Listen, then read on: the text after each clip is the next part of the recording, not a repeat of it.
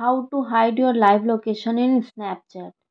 Hello friends, welcome back to Techsore 2. In this video, I'm going to show you how to hide your live location in Snapchat. To hide your live location in Snapchat, first open up your Snapchat app. Now tap on your profile icon. Tap on this gear icon to open up settings. Scroll down until you see privacy control. In privacy control, tap on see my location. Toggle the switch hide my live location.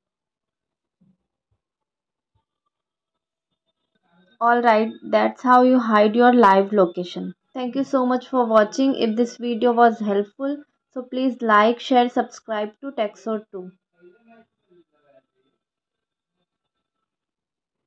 Gracias.